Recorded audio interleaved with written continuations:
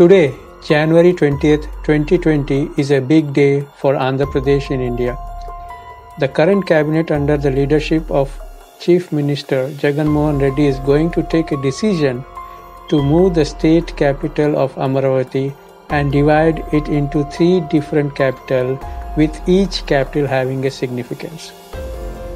Vishakhapatnam will be the executive capital from where the secretariat will function and will also have the chief minister's office.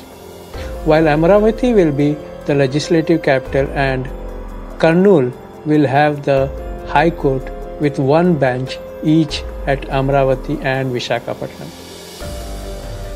The budget and winter session of the assembly will be held at Amaravati and Vishakhapatnam and the Raj Bhavan and assembly will be located between Mangalgiri and Nagarjuna University which is not prone to floods.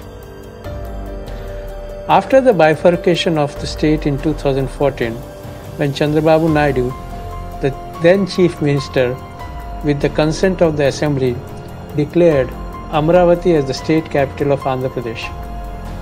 Since then, Amravati was considered as the state capital and the foundation stone was laid by the Prime Minister Sri Narendra Modi and 13th Chief Minister of Andhra Pradesh Nara Chandrababu Naidu on 22nd October 2015. Planning and construction of the capital was in progress until 2019 assembly election when Chief Minister of Andhra Pradesh Nara Chandrababu lost power and Jagan Mohan Reddy came to power with bumper majority.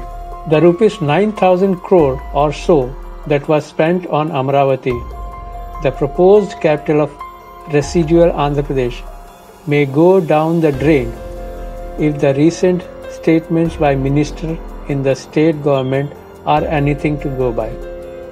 The signals by the YSR Congress government since it assumed power have left no doubt that Chief Minister Jagan Mohan Reddy would like to dump the capital plan as envisaged by Chandrababu Naidu.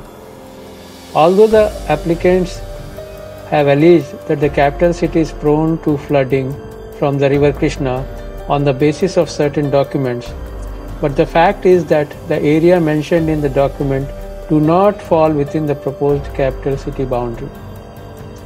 The reference to Guntur made in this document is with the regard to the district as a whole and not to any particular area falling within the proposed capital city. Apart from it, there is no flooding in the capital city area from Krishna River because of the existing embankment bunds. Therefore, the proposed city is not located within floodplain. The current government decision to move the capital city, which is objected by the farmers who have volunteered to give 33,000 acres of farmland on public private partnership to the previous government, expecting returns after the capital is developed. Let us hope that the government takes decisions that will benefit the farmers and general public. In my view, Amravati is a distant dream, but it will be a dream come true.